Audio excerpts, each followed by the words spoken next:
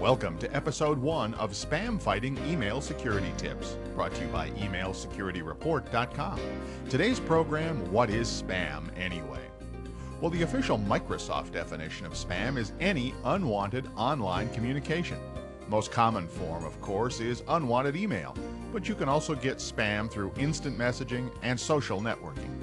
Some spam is annoying but harmless. However, some of it is more dangerous, part of an identity theft, scam, or other kind of fraud. Spam facts. If you have an email address, you're going to get spam. It's just a fact of computer life. Up to 14.5 billion emails every day are classified as spam. So, why is there spam? Well, follow the money. A lot of spam is just trying to sell you stuff. Stuff you probably didn't ask for, don't want, don't need. Spam is also very popular for the bad guys out there to deliver viruses and other nasty software directly to your computer. Spam is a numbers game.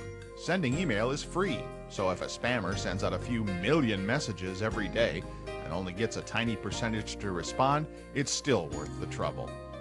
Don't you be a number. Stay safe and secure. Don't fall for online internet spam, scams, and hoaxes. Know your spam and steer clear of trouble. Sign up for the complete series of free spam fighting email security tips. Visit emailsecurityreport.com slash video. And here's the best part, they're all free. Stop by and sign up. See you next time.